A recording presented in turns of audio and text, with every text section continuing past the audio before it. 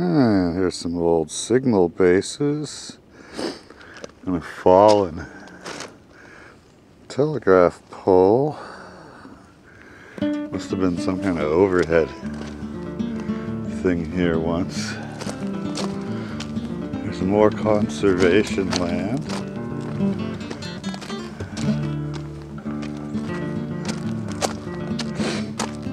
It's generally pretty quiet. Cool if some freight came through.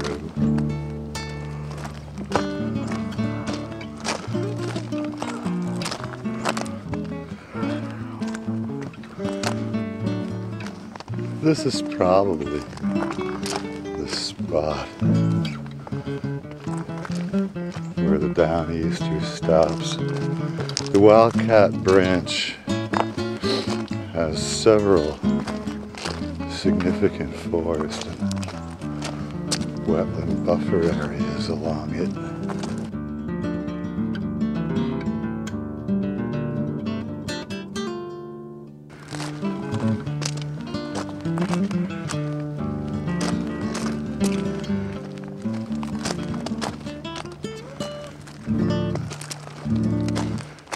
Yeah, see the fencing and everything is gone here. You can just walk right over into the woods.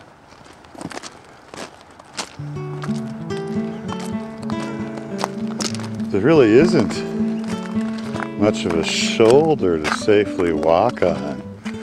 So I really wouldn't recommend this to anybody. There goes some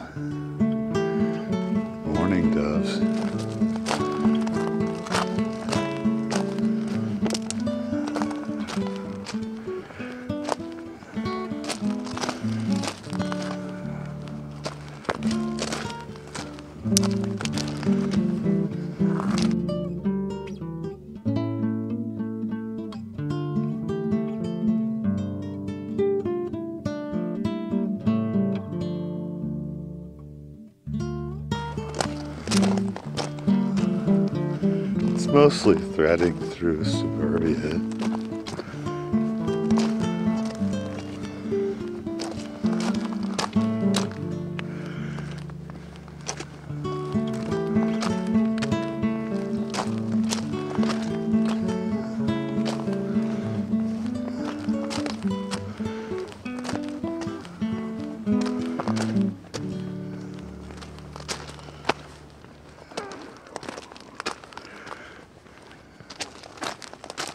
Mm-hmm. significant wetland over here.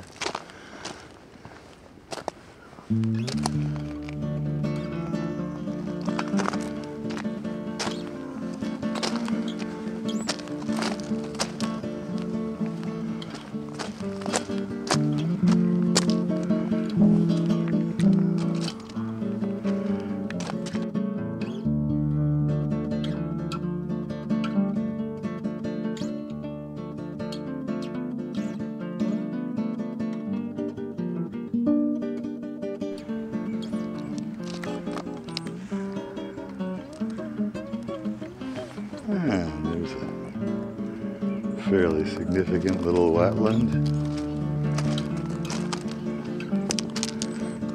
Probably created by some beaver long ago. We're coming up on grade crossing number three. I'm still ending up winging it because I forgot my map stuff somewhere back there. Oh well.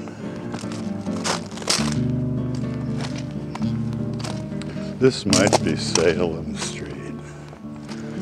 My aim is to follow this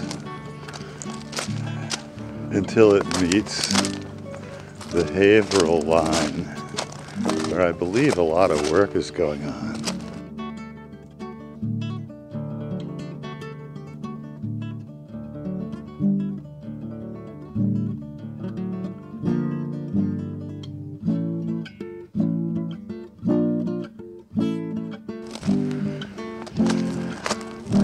then I'm gonna leave it for a town street and work my way up to Ballard Vale.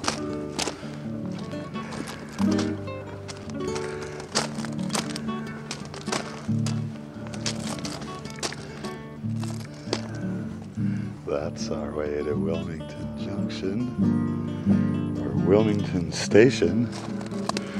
And forward is our way to the Haverhill line here in the gorgeous heart of the Wildcat Branch.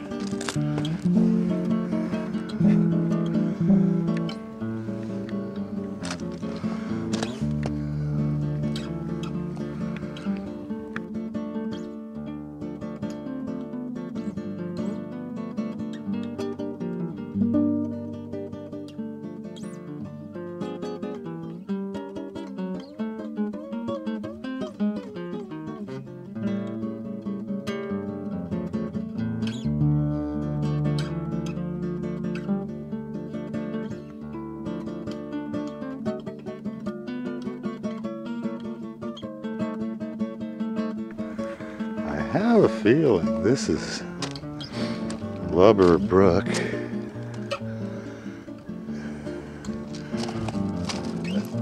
Seventeen culvert zero thirty.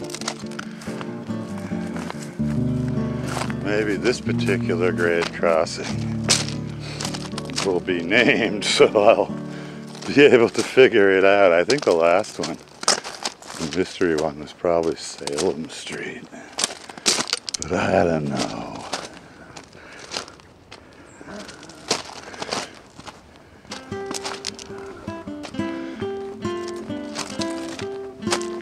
Oh, yeah, there's 93, all right.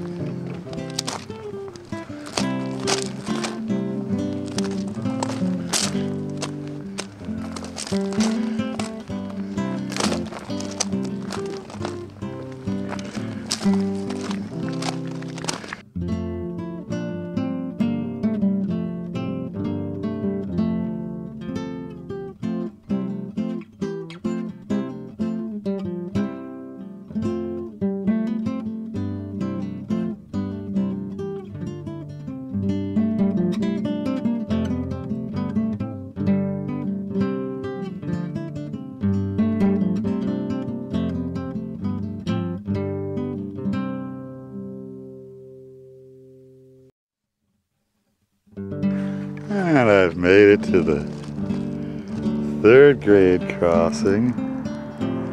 Some kind of platform it looks like is here. Maybe it was a weird little station platform. Not sure what this street is.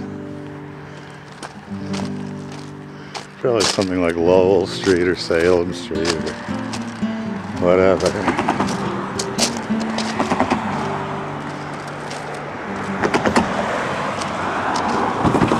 Lot of traffic here in Little Wilmington.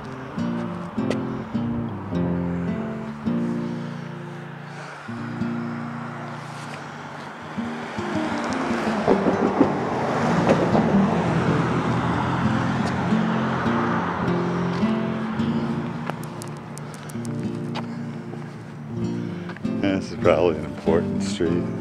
Every street is an important street in Massachusetts. Ah, Salem Street it is, and Wildcat is mentioned.